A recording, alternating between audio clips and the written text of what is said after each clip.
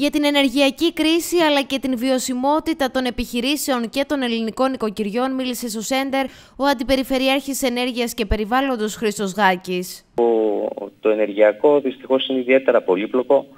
Όσες επαφές και να έχουμε κάνει και σε επίπεδο θεσμικό και σε ημερίδες που έχω παρακολουθήσει ε, αφενός βέβαια είναι η κρίση με την Ουκρανία και ο πόλεμος που διεξάγεται Προσπαθεί σήμερα η κυβέρνηση να βρει μια σανίδα σωτηρίας απέναντι στην ενεργειακή κρίση και την ακρίβεια που μας ταλανίζει. αυτό ήθελα να πω ότι ναι. πρέπει να ληφθούν σοβαρότερες πρωτοβουλίες σε κεντρικό επίπεδο να ανακουφιστεί ο κόσμος γιατί ένα από τα προβλήματα πέρα από τον πόλεμο είναι και το γεγονός ότι ε, η Ευρώπη και η Ελλάδα ξεκίνησε να προβεί, να μεταβεί ουσιαστικά στο, σε ανανεώσιμες πηγές ενέργειας, στην πράσινη ενέργεια.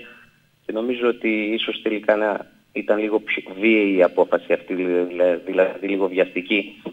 Γιατί θα έπρεπε να φροντίσουμε πρώτα κατά τη γνώμη τη δική μου και σας λέω και κατά τις απόψεις κάποιων ανθρώπων που ασχολούνται χρόνια με τον κλάδο αυτό ότι να, θα έπρεπε να μεριμνήσει και η Ευρωπαϊκή Ένωση ε, να υπάρχει το ενεργειακό απόθεμα σήμερα, το οποίο θα μας διασφάλιζε τη μετάβαση στην, ε, στις ανανεώσιμες πηγές ενέργειας. Και τι εννοώ με αυτό. Θα έπρεπε να έχουμε κάνει πρώτα κάποιες επενδύσεις σε ανανεώσιμες πηγές ενέργειας χωρίς να έχουμε καταργήσει τη χρήση είτε του φυσικού αερίου, είτε του πετρελαίου, είτε του λιγνίτη. Και αφού έχουμε φτάσει σε ένα επιθυμητό επίπεδο επενδύσεων σε ανανεώσιμες πηγές ενέργειας, ύστερα να ληφθούν οι αποφάσεις για την απεξάρτηση από τους υδρογονάρχιους θρακεσία από το λιγνίτη.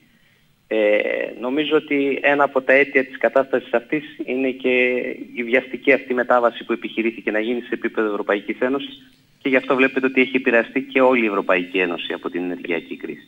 Ο ίδιος παράλληλα αναφέρθηκε και στο θέμα του φυσικού αερίου, το οποίο σύμφωνα με τις πρώτες εκτιμήσεις θα ξεκινήσει τις πρώτες συνδέσεις στο φθινόπωρο. Ε, κοιτάξτε, ως προς το χρονοδιάγραμμα είναι όντως οι εργασίες πιο μπροστά από το προβλεπόμενο, ναι. δηλαδή έχει, κινείται πολύ πιο γρήγορα το έργο.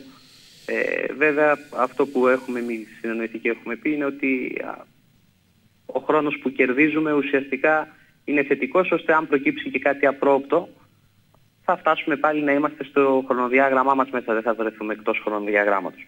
Σε κάθε περίπτωση με την εξέλιξη που έχουν οι εργασίες σήμερα, ε, μέσα στο φθινόπωρο θα πρέπει να γίνουν και οι πρώτες συνδέσεις φυσικού αερίου ώστε τον επόμενο χειμώνα να υπάρχει φυσικό αέριο στην Καβάλα. Ε, θα γίνει ένας αγωγός ε, στο ανατολικό κομμάτι της πόλης που έχει κατασκευαστεί ο αγωγός θα γίνει ουσιαστικά ένας σταθμός ο οποίος θα μειώνει την πίεση γιατί ο αγωγός έχει μεγάλη πίεση στο ναι, αέριο ναι. ώστε να μειώνει την πίεση για να μπορεί να φτάσει το αέριο στις οικοδομές με ασφάλεια. Αυτό το έργο θα γίνει μέσα στο καλοκαίρι από ό,τι έχουμε συνεννοηθεί οπότε από τη στιγμή που θα φτιαχτεί και αυτός ο σταθμός θα μπορεί να, να γίνει η παροχή του αερίου και στις οικοδομές. Ε, μέσα στο φθινόπωρο με βάση το, το χρόνο με τον οποίο εξελίσσονται οι εργασίες σήμερα θα γίνουν και οι πρώτες συνδέσεις.